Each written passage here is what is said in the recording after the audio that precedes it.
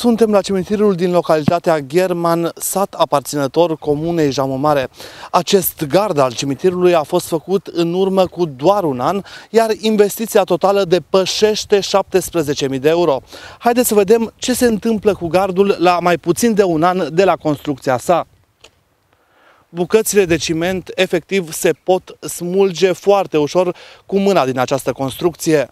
Gardul cimitirului din localitatea German pare de jucărie. Bucățile de beton din fundația gardului se desprind ca niște piese de Lego la doar un an de la construcția sa. Investiția nu a fost deloc una mică. Vorbim despre 17.000 de euro îngropați în locul de veci într-o lucrare care se descompune văzând cu ochii. La vremea la care s-a adus în discuție această investiție, mai mulți consilieri locali din primăria comunei Jamu Mare s-au opus vehement ca lucrarea să fie realizată de firma propusă de primarul Petre Gagea. Consilierii spun că nu au fost ascultați. Ce să spun, nu știu dacă este ok, dar nu știu nici de ce e așa, nici... Uh, nu știu.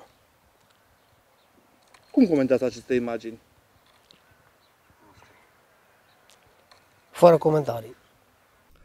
Am fost la primăria comunei Jamu Mare și am încercat să stăm de vorbă cu edilul Petre Gagea. Acesta nu a fost de găsit nici în primărie, nici la telefon. L-am găsit în schimb pe viceprimarul comunei Jamu Mare, Luciana Babei. Da, investiția este în jur de 17.000 de euro.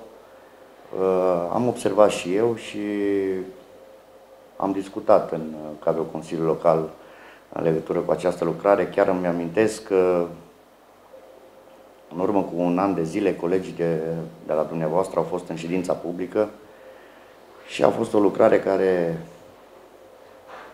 uh, a creat uh, anumite discuții în cadrul și acelei ședințe.